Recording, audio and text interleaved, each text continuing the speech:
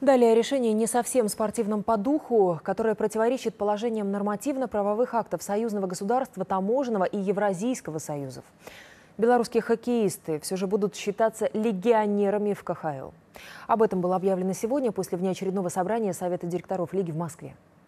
Напомню историю вопроса. Клубы континентальной хоккейной лиги к старту сезона 2015-16 начали готовиться еще в мае, предварительно заключив контракты с игроками, в том числе и белорусами. Гарантом того, что права наших соотечественников будут такими же, как и у россиян, был сам министр спорта Виталий Мутко. И вот когда сезон стартовал, Минспорта России дает задний ход. И это при том, что КХЛ изначально была на стороне белорусов. Наши будут на таком же счету, как и канадцы, финны, шведы и другие хоккеисты, выступающие в лиге.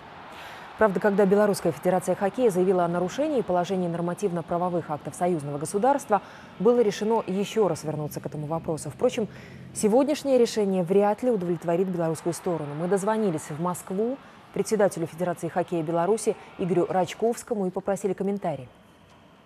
С одной стороны, звучат горящие фразы о развитии хоккея, а с другой стороны, получается, э, те страны, которые интегрируются в, раз, в различные союзы, но подвергаются, мягко сказать, некой не, дискриминации. То есть, по сути дела, идет разрушение. Когда прошло голосование по регламенту, изменению, точнее, в регламент, ну, единственный человек, который голосовал против, воздержался, точнее, это был э, председатель наблюдательного совета хоккейного клуба «Динамо Минск» Шуневич Игорь Анатольевич. Э, мы представили свои доводы, аргументы, попросили взять паузу до того момента, когда э, юридические подразделения рассмотрят эти документы, но э, руководство континентальной лиги сочло, что необходимости в этом нет. Было такое ощущение, что с, роботами, у которых запрограммирована речь и которые не слушают никаких аргументов. Кстати, на сегодняшнем заседании ни министра спорта России Виталий Мутко, ни президент Федерации хоккея России Владислав Третьяк не присутствовали. Всего в российских командах КХЛ перед стартом сезона значилось 14 наших хоккеистов.